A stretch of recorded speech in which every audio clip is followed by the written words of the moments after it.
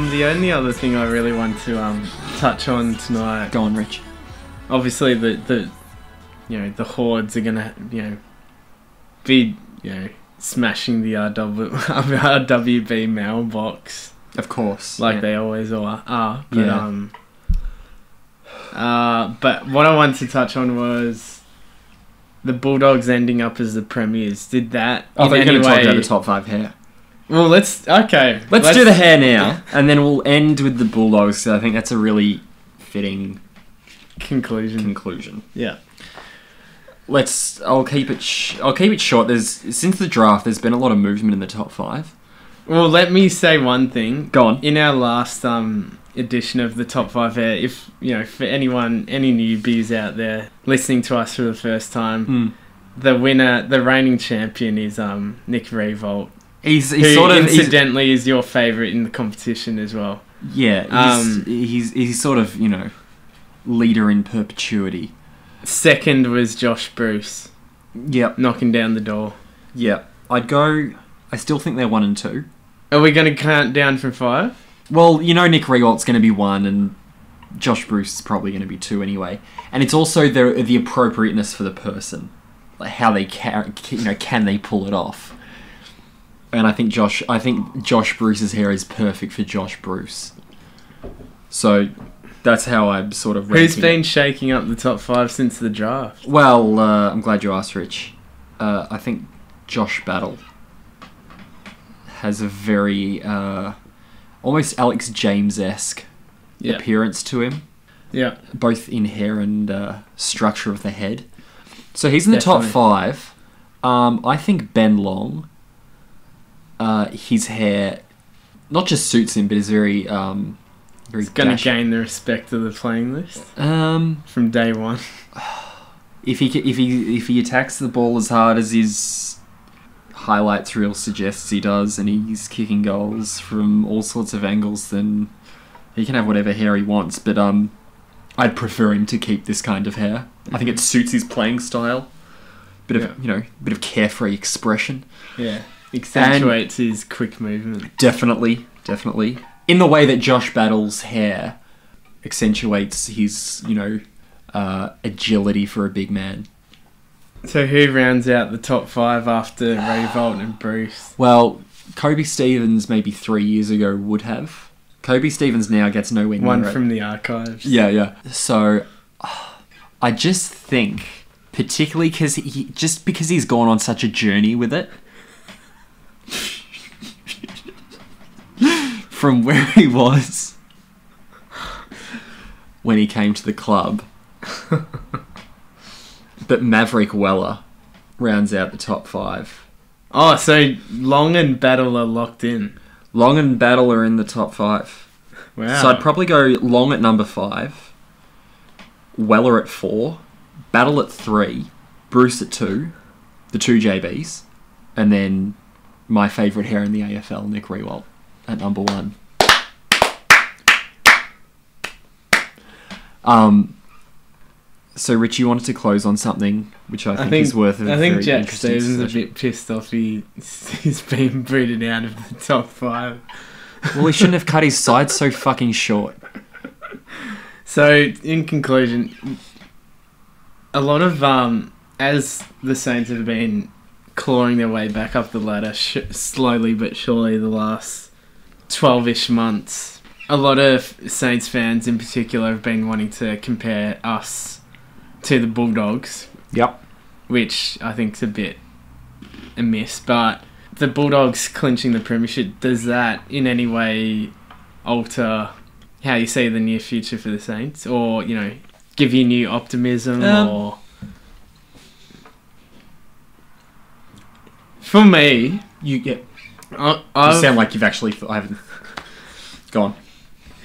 for me, I've been really pleased with Richo, but the one thing I've I've kind of felt sorry for him um, about since he's come to the Saints, or something that's kept kind of rearing its head from time to time, Yep. unfortunately, has been that you know every time where our form's kind of taken a dip, particularly interstate or what have you. Yep. Um, I always feel like the worst thing that's happened to Richo is the Bulldogs because while we've been kind of toiling and you know scratching and clawing, you know, to try and improve and just get that little bit better. The Bulldogs seems to have just had a sexier brand. They've you know snatched Luke, Luke Beveridge off of us. They've Yeah. they've taken Bontempelli when we've taken Jack Billings, Yeah. and just seems like a, a number of things have just kind of fallen into place for them, and that they've on top of the fact that they started their rebuild one or two years earlier than us, which It was a couple. helps. It was a couple of years. Um, but I always feel like that the unfortunate thing is that every time he's under a little bit of pressure, it's the Bulldogs that have made it that little bit worse because, yeah, they're Um, just a little bit more advanced than us. But Okay, that's kind of diverting off of the No, no. question a little bit. Firstly, that's an interesting thought. Um, because I think St Kilda and Bulldogs fans have always have always you know they've seen the other as the closest analog. And there's obviously I sent out a few tweets on the RWB account a few weeks ago about this. Obviously, there's an uh, any fan will think there's an exception an exceptionalism to their club because the the supporting a club is a very personal thing. I mean, even though it's shared with you know tens or hundreds of thousands of other people, you know, if if it really means that much to you, it's a personal thing as well. You remember, you know, you you associate it with times in your life as well. What was you know different periods of the club and what was happening in your yeah and Yeah. what was happening in your life or where that came in in your life. Um, and so for people with a you know reverence to history and all that kind of thing, the St Kilda, St Kilda and the Bulldogs have always been, you know, the two Cinderella clubs and that kind of thing, and and there have been a few, you know, a lot of comparisons, but they're two very. And I said this on Twitter and the on the account a few weeks ago, but they're actually very different clubs as well. The Bulldogs, you know, they had that run of seven losing preliminary finals, but and but they hadn't played. A they hadn't played in the grand final for fifty five years, and whilst the premiership drought was comparable, comparable to St Kilda's, obviously, the time in between was very different. So they had the seven losing preliminary finals, but other than that, they weren't. uh, They did obviously have some leaner times, but not as bleak. I mean, obviously 1989 they always folded, but St Kilda, St Kilda's extremes were always uh, a lot bleaker, and St Kilda's. I think St Kilda fans up until this year always had this. The thing that they held over the Bulldogs was not just the preliminary finals in 09 and 10, but that the highs were higher. So, you know, they actually made the grand final in 97 and then 09 and 10. St Kilda's extremes, you know, they were either, you know, it always ended in heartbreak or however you want to frame it. Mm. You know, it was either St Kilda's finishing on the bottom of the ladder or they're in the news for probably a bunch of the wrong reasons or they're, you know, premiership fancies but never quite coming away with it. And even that in itself was dramatic and, you know, all that kind of thing. Mhm. Whereas the Bulldogs were just, you know, Meandering. meander you know there were sort of lower to middle rungs of the ladder and toiling away with a low profile you know in a like and i said this on twitter you're like like true underdogs you know just not much to them not expected to be anything successful i think that i think this year was really interesting because all of a sudden that's been broken and that's something that most St Kilda fans and Bulldogs fans have probably lived with now, given that it's 62 years since the Bulldogs premiership and 50 this year since St Kilda's, most people that's all that's all they've known. You know, they're the two clubs with the two clubs. Uh, you know that came into the competition either from the start or early on that had one premiership, and now that's broken. So that sort of dynamic. So you know, and with the the way the Bulldogs or the shape the Bulldogs list is in, premiership hangover notwithstanding, you know, I'd I'd fully expect them to be close for the next bunch of years. You know, there's no reason, unless they lose the hunger or injuries or whatever it might be, uh, going purely on what the list has shown. There's no reason for them to go away anytime soon. Well, the angle I was going to come at it from was it did kind of cause me optimism in some ways, not in terms of, you know, I'm not going to put a bet on the Saints to win the flag next year, but it was a bit of a win in terms of, um, how do you say it, probably system over talent almost, because Nathan Burke was the most vocal about this, and I'm sure a lot of people also thought this, but even though the you know the Bulldogs you know had a great run through the finals, and I'm not saying they were undeserving winners, but a lot of people you know were thinking that it's not exactly a star-studded lineup. You know, Bontempelli is a great player, but aside from that, we're talking about a lot of young guys, a lot of guys who are still kind of making their names, but as a collective, they just played really well together and obviously Yep. played really well at the right time of the year. And I think um, that just quickly, I think that goes back to Beveridge. Beveridge's reputation for being a really good leader of a group of people on, on a more personal uh, level rather than a footballing level. yeah, He's able to bring the best out of people as opposed to being, you know, master tactician or anything like that. Yeah, yeah. And so I guess what I'm saying is, you know, we've touched on a fair few of the Saints players, you know, and their shortcomings, and Mm. hopefully they're going to lift their level in the next, you know, hopefully really soon, but hopefully in the next two to three years at least. But the Bulldogs showed that, you know, if you're all on the same page and, you know, maybe age isn't as big a barrier as a lot of people thought it was, Yep. particularly with how the game is being played now at Yep. such a high speed. So there is cause for optimism there that the Saints um, can, you know, cause some more damage next year um, beyond what's on the kind of team sheet, I guess. Yeah, and I think that goes And, beyond just yeah. yeah. And I think when you ask the question, I think that aspect goes beyond, you know, in a true footballing sense that theoretically holds up, not just the fact it's the Western Bulldogs who had won one premiership like we had. You know, whatever jumper they were wearing, if it was those twenty-two, then that would you could make the same case Mm. for St Kilda. Well, to put it Certainly in the short term, anyway. to put it bluntly, and obviously this was half tongue in cheek, but I was exchanging quite a few text messages on grand final day as we were watching the game. Oh, you're at my house, yeah. Incidentally, right here at your house. Yeah. Um, I was exchanging quite a few text messages with my brother um, about the game. You know, obviously having a few beers during the game as well. So Yep. there was a bit of, um, yeah, mayonnaise put on every comment, but. I said to him, you know, there are some real bush league players out there today, and um, well, just in terms of you know, who ever thought you know Josh Hamling was going to be a Yeah. premiership player at the end of the year? You know? Um, Roberts, Fletcher, Fletcher Rob- he might not be in the league in fellow two years. De La Um, yeah. So, yeah, what I'm getting at is, you know, and friend of uh, my brother and RWB contributor Matthew Brillier. yeah, yeah, obviously. So shout out to Fletch. Yeah, what am I saying? The Saints, I don't know, could be a good year next year.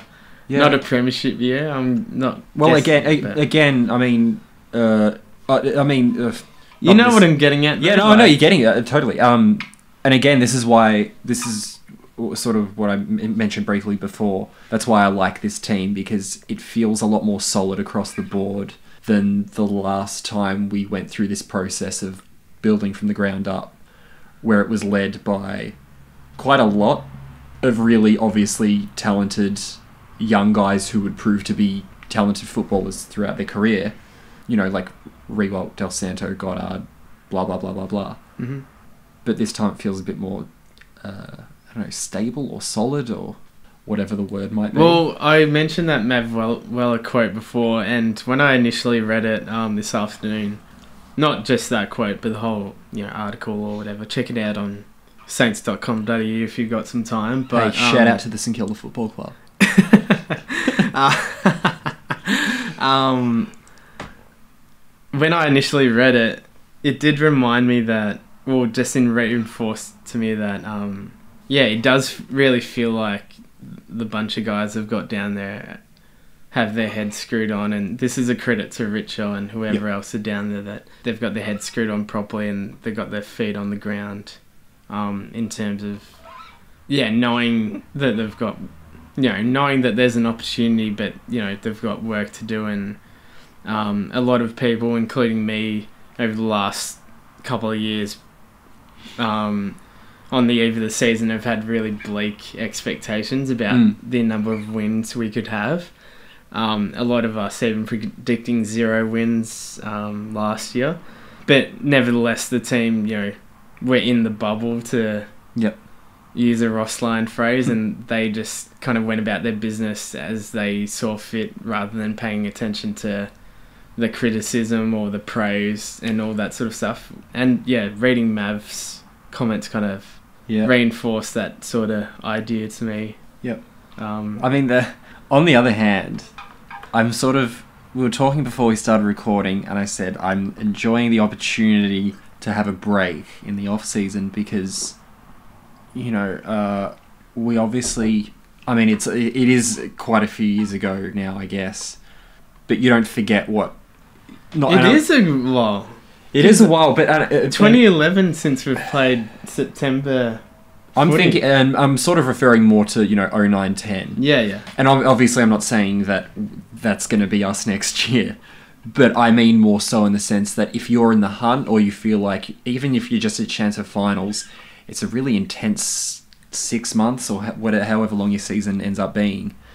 And we're on the, ideally, we're on the cusp of a season which is, you know, the season that is the beginning, hopefully, of an era that we are making finals consistently yeah. and you know doing something with that opportunity with the opportunity that comes with that the flip side to that is for how difficult especially in hindsight thinking about what happened to that team of last decade and how close they came to winning a premiership without winning one um, the thing that when we think about you know 03 and why we get excited is because we know now that it worked to the point that we were playing in grand finals and Yeah, finishing yeah. on top of the ladder. We know that now. Yeah, yeah, We don't know that yet with this group. yeah. And I'm not saying we're not or we are. You know, we just don't know. And so I'm a bit apprehensive because we're sort of getting to the stage where we find out and the idea of it, not that we'll, f- I, you know, we probably won't find out for, you know, we might not find out for a decade if everything goes vaguely right, you know, between five years and a decade, whether this worked or not. But it would be awfully difficult having gone through the last team and what they what they achieved and didn't achieve. And to go through that again is kind of terrifying. and we're sort of getting to That that. kind of sums up the St Kilda fan psyche. yeah. So it's exciting, obviously. You know, th- this team is exciting, Yeah. and it's exciting where the club is at as well.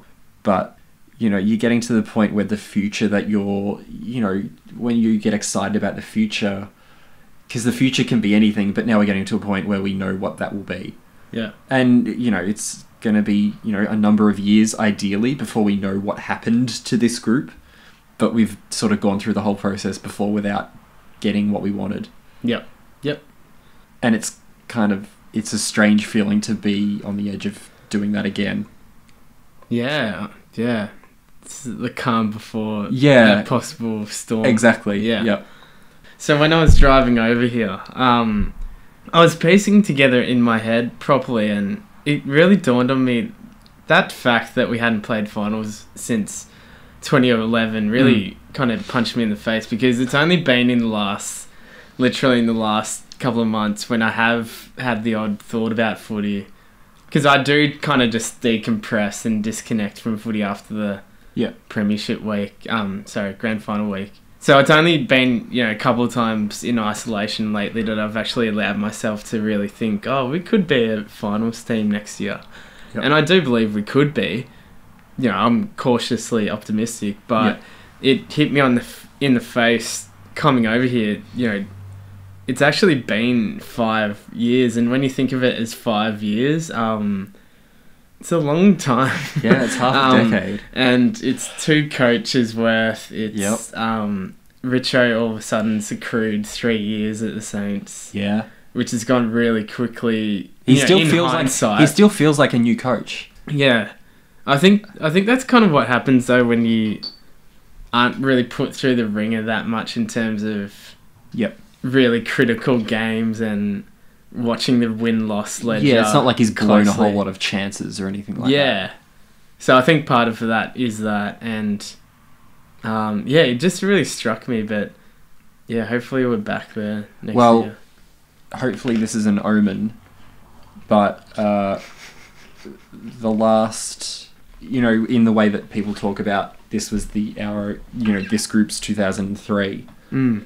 Uh, next year will be seven years since our grand final, our last grand final appearance, and it will be the same amount of time between 1997 and 2004.